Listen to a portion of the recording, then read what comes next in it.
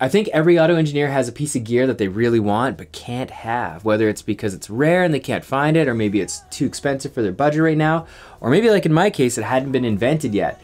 I started mastering in 2008 and I really, really wanted analog dynamic EQ once I started getting into hardware. But there was only really those BSS units, you know, the one rack unit ones with the little fiddly knobs that recall would just be a complete nightmare. Plus, I think the filters are pretty dirty on them. Um, and then there is the uh, Tomo Lisa, which is a really expensive unit made in Germany. I think it's like 25,000 euros, and that was just out of my range. Uh, when I saw these GOLY units come out though, I immediately bought them because I've been waiting for like a decade for dynamic EQs. They're made by Gustav Grinderslev, who has been renowned in the DIY community for a really, really long time. He's had huge contributions to DIY audio equipment.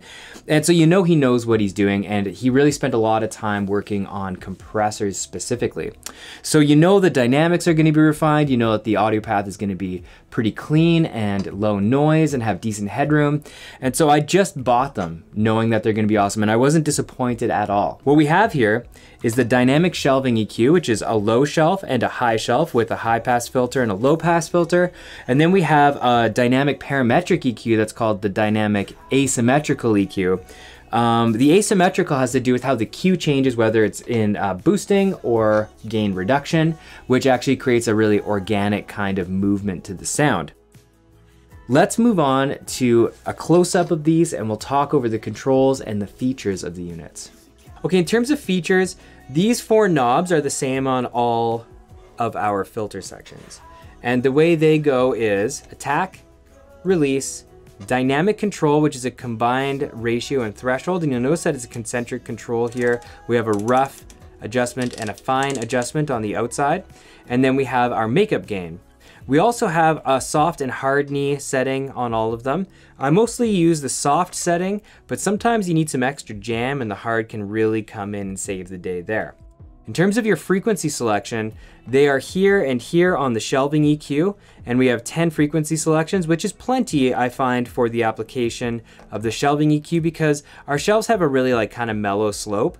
And so, you know, it's having a specific frequency isn't necessarily as important as the DAQ, which has an extremely precise frequency selection tool we have a dual concentric control with two full ranges. So we have a blue range that goes from about 17 hertz to 153 and a red range that goes from 96 hertz to 833. And in between those options, you can select fine frequency points with our outer concentric control. Very, very cool. We have a Q control on the DAQ here, which goes from a very tight 0.1 octaves to 6 octaves. And we also have a sidechain emphasis control. Now let's talk about the sidechain in these two units. So the way it works is we don't have the sidechain mirroring the actual band that we're using on the EQ. Instead, he's kind of uh, split our spectrum at about 800 and something hertz and the bottom just reacts to that half of the spectrum entirely on both units. So even if I have this set at like 40 hertz, it's still gonna react to the entire signal up to 800 hertz, which seems like it might be a problem, but ends up not really being a problem most of the time. Now for the DAQ, we do want things to be a bit more specific. So Gustav in all of his genius has added this sidechain emphasis control. Now what this does, it, it still takes that signal that's like 800 hertz and down for the low side and 800 hertz and up for the high side, but it adds an EQ band that we can boost narrow or wide at any of the frequencies basically that we have available. Now that's useful if you wanna make sure like you're grabbing just that frequency and you're not having something else influencing it, or even more cool, is let's say you wanted to, um, I don't know, duck the mids, like say the 400 hertz with the kick drum, you could have the EQ set up at 450 hertz, and you could have this set up at like 80 hertz to be triggered by the kick drum. So you have like a lot of usefulness right there. If we want to hear how we're setting up this sidechain emphasis, we can use the momentary sidechain listen buttons. Uh, which is very, very handy. You'll notice though that if you hold this down and you change our frequency control over here, that this doesn't change. The sound doesn't change at all. And that's, like I said, because it has a fixed sidechain unless you're boosting something right here. Now this low mid side on the DAQ has a particular and cool feature called decompression or decomp. Now how this works is it takes the voltage control signal from this side, based on how you set it up with the timing controls and everything. And it sends that signal over to our high mid side as an expansion as an expansion signal. So whenever this is compressing, it's going to be expanding this side, which can be very useful for adding life back to overcompressed material um, or creating interesting rhythmic effects or just making uh, the this side kind of sprinkle some fairy dust when the on onto the highs when the lows are engaged. And it actually works like really well. Like I had my doubts that that was going to be something that sounded musical and natural but it almost always does. And a really, really cool thing about that feature is you can set up the low mid side to expand the high mid side while it's disengaged. So you can set this up specifically to expand this side, but not have it in the audio path, which uh, makes it even more useful. With all that said, let's go and actually hear how these units work.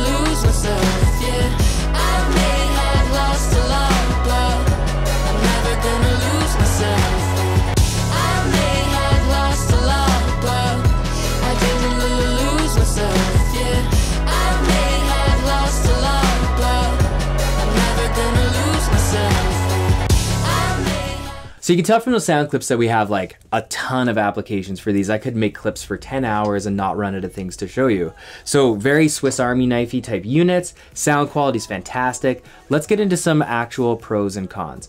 So uh, the biggest pro for me is just the level of precision that this thing has been designed with, both in terms of uh, the control resolution, how finely we can set everything up, and secondly, in terms of how well everything is made. Like all the switches just feel super precise and solid, and there's no like weird wobble on the controls or anything. Everything is just really, really nicely set up. Another pro, of course, is the sound quality. The compression action is really smooth. The EQ filters sound really nice, even on their own. And uh, just overall, the sound quality is awesome. The specs are also quite good. We have a respectable headroom, no issues with distortion, really. There's some color on the DSQ, but it's not extreme and it's pretty nice. And you can always run the gain a little bit cooler through it if you want to clean it up a little bit. Um, in terms of cons, there's a few. The biggest one is that they're discontinued and you're gonna have a hard time finding one. Uh, another con is that they are not three units tall, they're like 3.2 units tall or something like that. So we can't fit these two into six spaces. We gotta fit these two into like seven spaces. So be aware of that before you get it. Another aesthetic thing is that I don't like the glossy finish on the panel. It gets dirty really easily. And uh, I prefer a matte finish, which the new units have. Um, another con is that there's no uh, out gain. There's no makeup gain or like, you know, in or out gain. And I would like to level match these things to compare them accurately. If you have a mastering console, that's not so much of an issue. In terms of other gear that serves this purpose that you could buy, there's the BSS unit I mentioned before, which isn't really suitable for mastering, although if you're a mixing engineer, maybe it would be useful for you. There's that Tomo Lisa that's really expensive. I can't really comment on how it compares because I've never tried it. Um, but another unit that does compare to these is the Magneto Dynamic Infundibulum by Giraffe Audio, and that is not a dynamic EQ. It's a soft clipper that you can specifically clip, you know, uh, narrow frequency ranges with. And it, it can be used for a lot of the same thing, but only really to tame lively material, not to like enhance lively material like you can with this. So I would say that these more or less stand alone in terms of their price point, feature set, and uh, what they offer you for mastering processing.